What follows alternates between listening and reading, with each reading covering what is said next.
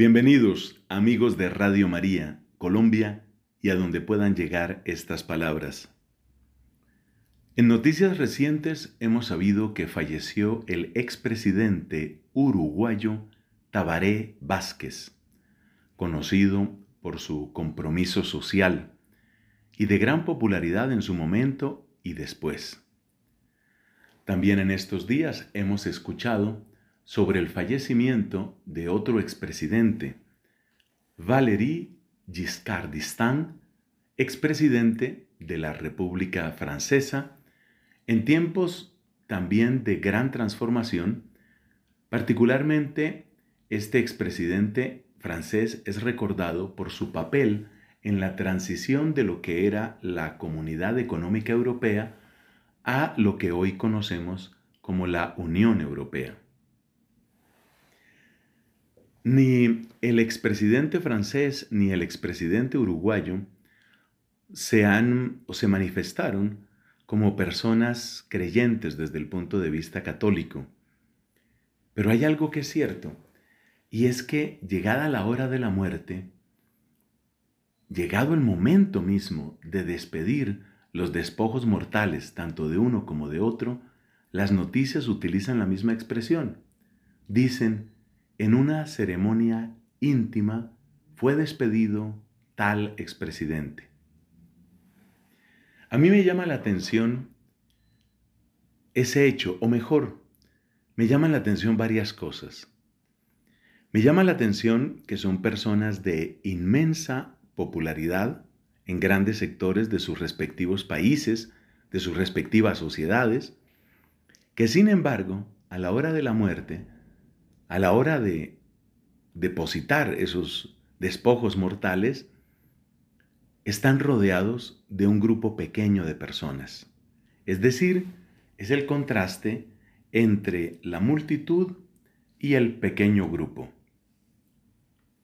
En segundo lugar, me llama la atención que en ese cambio de panorama de la multitud a la familia y los amigos, ¿Qué es lo realmente importante?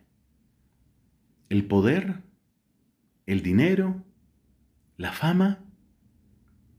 ¿Quiénes son los privilegiados, por darles un nombre, sin ningún asomo de ironía, por supuesto? ¿Quiénes son los privilegiados que están en esas ceremonias? ¿Qué determina o quién determina quién estará en la ceremonia? En esa ceremonia que es llamada íntima? Todos sabemos la respuesta. La familia y los amigos. Es como si estos hechos nos estuvieran recordando que aunque parece que tuviéramos mucha importancia, mucha gente y mucha influencia, lo realmente fundamental está en el otro orden de cosas no en las grandes decisiones, sino tal vez en los pequeños detalles. No en la influencia masiva que se tiene sobre países enteros, sino en la discreta influencia que se tiene en unas cuantas personas. También este hecho nos invita a hacernos una pregunta. ¿Quiénes? ¿Quiénes quisieran estar?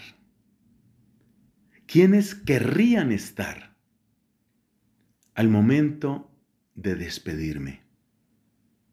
Cada uno aplique la pregunta a sí mismo. ¿Cuáles son esos íntimos que estarían con gusto y de buen grado despidiéndome de esta tierra? En otro momento será muy valioso reflexionar sobre lo que implica la entrada en la eternidad, lo que afirma nuestra santa fe católica, y por consiguiente el juicio particular y por consiguiente el juicio universal. Pero pensando las cosas en un plano todavía muy de esta tierra, ¿quiénes estarían con gusto en ese momento?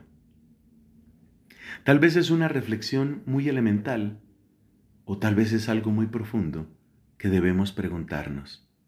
¿Para qué y para quiénes estamos viviendo? Estuvo con ustedes Fray Nelson Medina.